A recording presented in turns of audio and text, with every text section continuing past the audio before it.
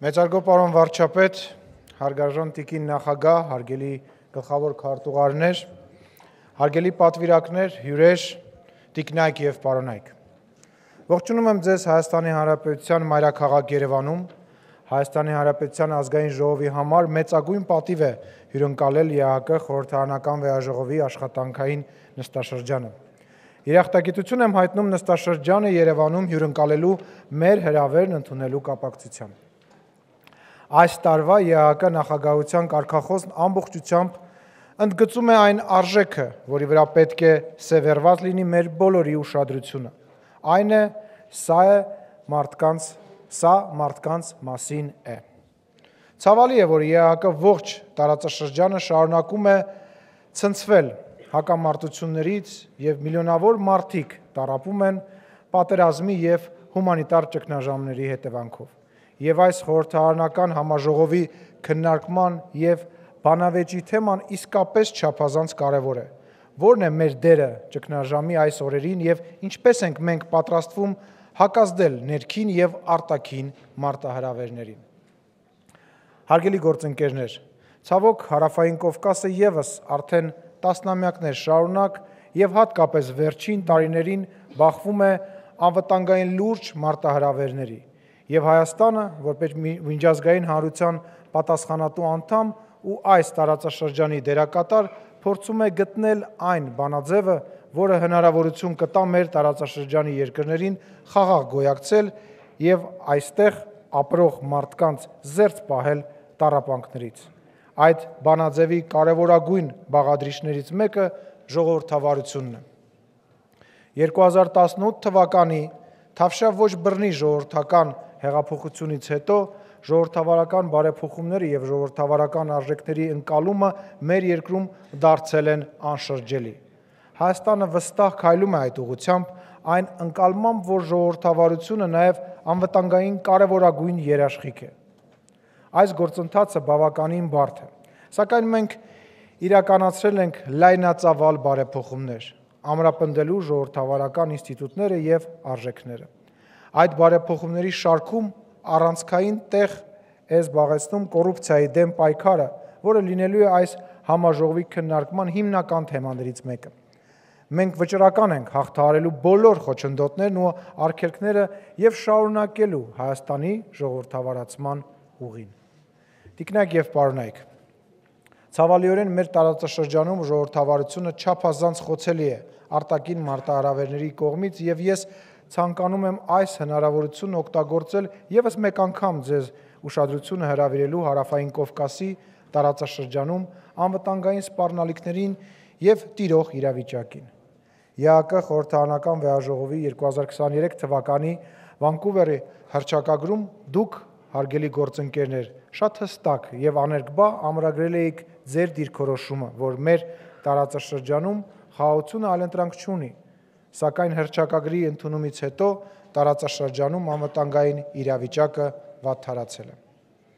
Այս տարվա սեպտեմբերի 19-ին Լեռնային Ղարաբաղի դեմ Ադրբեջանի կողմից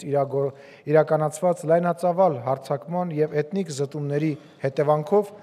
մեկ շաբաթվա ընթացքում ավելի քան 100.000 հայեր ստիպված են եղել լքել Լեռնային Ղարաբաղը եւ ես իմ մի շարք գործընկերների գործընկերներ երկար ժամանակ ահազանգել ենք միջազգային հանրությանը, որ Ադրբեջանի էթնիկ զտման քաղաքականության հերանեկարը գնալով ավելի ու ավելի է իրական դառնում։ 2022 թվականի դեկտեմբերի Լաչինի Միջանցքի անօրինական շրջափակումից հետո։ Սակայն միջազգային հանրությունը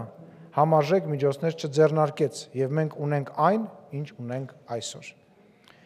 Ինձ համար չափազանց ցավալի է այս արձանագրումն անել այս դահլիճում։ Հայոց ցեղասպանության զոհերի հիշատակը հավերժացնող հուշահամալիրից ընդամենը մի քանի 100 մետր հեռավորության վրա,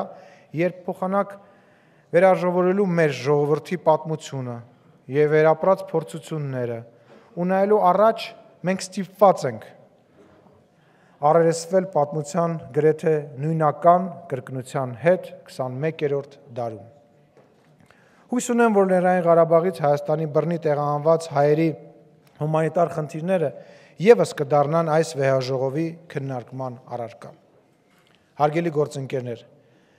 մենք չենք ընկրկում դժվարությունների առաջ եւ Հայաստանի Հանրապետությունը որթեգրել է խաղաղության օրակարգ առաջարկելով տարածաշրջանի բոլոր երկրներին կարգավորել հարաբերությունները եւ համագործակցել։ Հայաստանի կառավարությունը իր ժողովրդից ստացել է մանդատ խաղաղություն բերելու եւ ապագա սերունդների համար խաղաղ համակեցության դարաշրջանը հնարավոր դարձնելու համար։ Հենց այդ պատճառով էլ Հայաստանը կառուցողականորեն ներգրավված է Ադրբեջանի հետ խաղաղության բանակցություններում եւ ավելորդ է ասել, որ հարևանների հետ խաղաղության ձգտումը միակողմանի գործընթաց չէ։ Այն բոլոր դժվարություններից հետո, որոնց միջով անցել են հարավային Կովկասի ժողովուրդները վերջին տասնամյակներում, այսօր պատմական հնարավորություն կա խաղաղություն հաստատելու Հայաստանի եւ Ադրբեջանի միջև։ Հայաստան անկեղծորեն շահագրգռված է նաև Թուրքիայի հետ հարաբերությունների կարգավորման եւ սահմանների ու կոմունիկացիաների բացմամբ եւ առանց նախապայմանների ներգրավել է բանակցությունների մեջ։ Ես մեծ հույս ունեմ, որ այս բանակցությունները տեսանելի ապագայում կտան ցանկալի արդյունքներ։ Մեր տարածաշրջանը խաղաղության կարիք ունի եւ Հայաստանի Հանրապետության տեսլականը լավագույնս արտահայտված է խաղաղության խաչմերուկ անունը կրող նախագծում, որը պետք է արտահայտվի հետևյալ կերպ.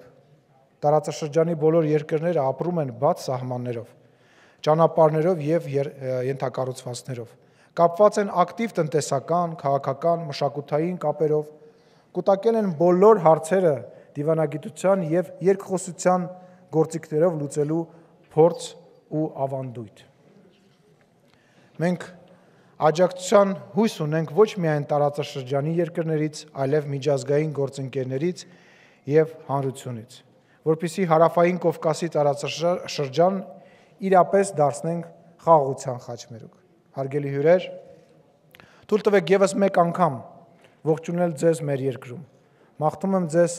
արդյունավետ նիստ։ Վստահ եմ, որ այս օրերի ընթացքում այս սրահում եւ նրա պատերից դուրս կունենաք հաճելի շփումներ եւ հետաքրքիր քննարկումներ, որոնք կբխեն մեր երկրների բոլոր քաղաքացիների